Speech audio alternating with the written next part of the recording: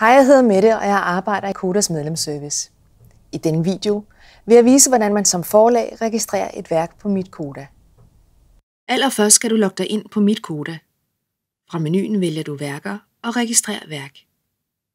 Jeg vil nu vise, hvordan du registrerer et nyt originalværk. Det er denne valgmulighed, du skal benytte første gang, du som forlag registrerer et værk, også selvom værket allerede er registreret af ophavsmændene. På selve værkregistreringen er felterne med en stjerne obligatoriske. Du skal kun udfylde resten af felterne ved særlige værktyper. Hvis du ønsker en forklaring på felterne, kan du køre musen hen over i'et efter overskrifterne. Start med at skrive værkets titel. Har værket en alternativ titel, kan du også vælge at tilføje det. Skriv en cirka varighed. Hvis der er brugt fri musik, fri tekst eller samlet fra andres værker, skal det markeres. Her skal du også sætte flueben, hvis der er tale om library-musik. Tryk næste. Nu skal du angive, hvilke rettighedshavere der er på værket, og hvilken rolle og andel de hver især har. Kodas standardfordeling for forlag 33,33% står som default i felterne forlagsandel fremførelse og forlagsandel mekanisk. Det kan du selv ændre. Nu skal du trykke på knappen Tilføj rettighedshaver og tilføje alle ophavsmænd en af gangen. Du kan vælge fanen Tilføj rettighedshaver. Her skriver du navn og medlemsnummer eller IPI-nummer og trykker Opret. Du kan tilføje flere rettighedshavere ved at trykke på plusset. Her viser jeg dig, hvordan du skal bruge fanen Søg. Du søger på navnet, og på den måde finder du den rette ophavsmand.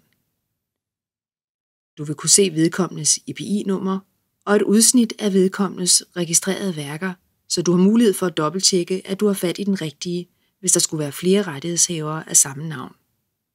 Tryk vælg.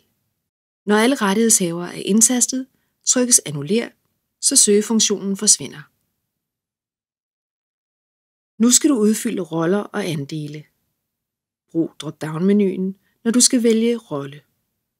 Du kan vælge imellem komponist, forfatter, komponist-forfatter, arrangør eller oversætter. Vælg en rolle for hver rettighedshaver. I feltet Aftale med forlag sætter du et flueben ud for den eller de ophavsmænd, som I har en forlagsaftale med. Hvis der er tale om en standardfordeling, så kan man nøjes med at klikke på Beregn standardfordeling, når alle rettighedshavere er indtastet. Hvis der er en aftalt fordeling mellem ophavsmændene, så skal du selv skrive andelene ind i hvert felt. Både andele fremførelse og andele mekanisk skal blive 100% i alt. Når alle andele til ophavsmænd er noteret, og totalen af andele giver 100%, skal du trykke på Beregn fordeling med forlag. Nu får du det totale billede med roller, rettighedshavere og fordeling, inklusiv de reelle andele til forlaget. Tryk næste. Nu er du kommet til næstsidste trin i din værkregistrering.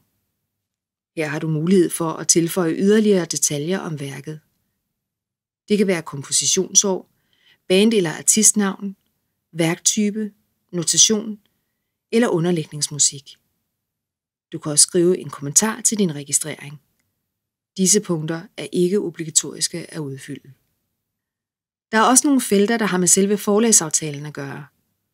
Du skal fjerne fluebenet, hvis aftalen ikke er retroaktiv.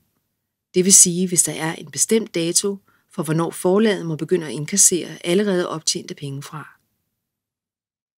Det eneste obligatoriske felt på denne side er feltet territorium. Her skal du angive, i hvilke lande eller områder forlaget har rettigheder. Tryk næste. På den sidste side ser du et overblik over de oplysninger, du har indtastet.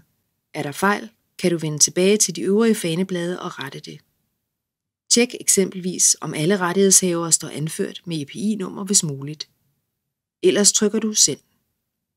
Nu er dit værk sendt til Koda, og du vil få tilsendt en mail med en kvittering for værkregistreringen. Fra I sender en værkregistrering til I kan se værkerne på jeres værkliste, så går der op til 3-5 hverdage. Har I spørgsmål til jeres værkregistreringer, er I selvfølgelig altid velkommen til at ringe eller skrive til os. Tak fordi I kiggede med.